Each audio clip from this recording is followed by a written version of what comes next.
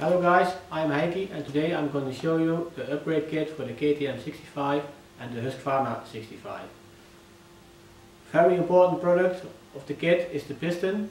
This is not a dome piston, this is a special flat top piston with a 12 degree angle. It must be used with a matching insert where the squish is parallel to the piston. We have different options of inserts, low compression, mid compression and high compression. You can all fit in in a completely CNC machined cylinder head cover which has a better water flow and keep the temperature consistent about the whole race.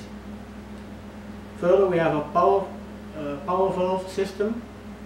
This one is different than the stock one. The stock one has the spring in the cylinder and this one has it on top of the power valve. It's a very soft spring, it's a dual stage spring which will give you much better throttle response.